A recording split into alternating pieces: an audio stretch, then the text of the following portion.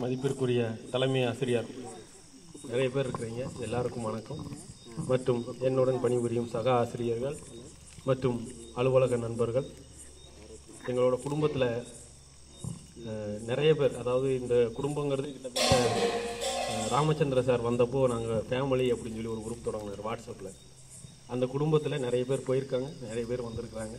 நான் இன்னும் தொடர்ந்துக்கிட்டே இருக்கேன். அதாவது டெய்லி வேஜஸாக இருந்தாலும் நான் என்னோட என்னோட டீச்சிங் ஃபீல்டு நான் தொடங்கினது இதே ஸ்கூல் தான். இப்போ நாலு வருஷமாக நான் டெய்லி வேஜஸ் அப்படி கண்டினியூ பண்ணிகிட்டே இருக்கிறேன். அப்போது நான் வரதுக்கு முன்னாடியே நம்ம ஸ்கூலை நம்ம ஃபேமிலின்னு சொல்கிறது அதுதான். நான் எப்படி அப்படிங்கிறது நான் இங்கே வரதுக்கு முன்னாடியே அவங்க சொல்லி வச்சுருந்தாங்க. சார் எப்படி? இவர் இவர் எடுக்கலாம் அப்படிங்கிற மாதிரி அப்போது அந்த மாதிரியான ஒரு பாண்டிங் அப்போ அதே மாதிரி தான் எந்த இடத்துக்கு போனாலும் ஈஸியாக மிங்கிள் ஆயிடணும் அந்த மாதிரி தான். யாரையும் நம்ம வேண்டாம்னு சொல்லி இதாக்குறது கிடையாது. எப்போவுமே யார்ட்டையும் கோவப்படுறதும் கிடையாது. அட்ஜஸ்ட் பண்ணி போயிடுது ஹாஸ்டலில் அந்த மாதிரிலாம் இருந்ததுனால அந்த பழக்கம் நம்மகிட்ட இருக்குது எங்கேயுமே நம்ம போனாலும் அட்ஜஸ்ட் பண்ணி போயிடலாம் அந்த மாதிரியான பழக்கம். பின்ன இதில் நிறைய பேர் என்ன என்ன காட்டிலும் வயசானவங்க. ஆனால் உங்களோட இது வயசில் மூத்தவங்களாக இருக்கலாம். ஆனால் அந்த சொல்லுவாங்க இல்லையா நினைப்பில் நான் இன்னும் சின்னவனாக இருப்பேன் அப்படின்னு. அந்த மாதிரியான நிறைய பேர் வந்திருக்கிறீங்க. அப்போ உங்கள் கூட இந்த மாதிரியான ஒரு சுற்றுலா போகிறதுல ரொம்ப மகிழ்ச்சி. அப்போ சொல்லியிருந்தாங்க சார் டூருக்கு கேட்கும்போது சார் நீங்கள் வருவீங்களா? அப்படின்னு சொல்லி கேட்டிருந்தாங்க. அப்போ நான் எடுத்தோடனே சொல்லி அதெல்லாம் பிரச்சனை இல்லைங்க சார் நான் வருவேன் அப்படின்னு.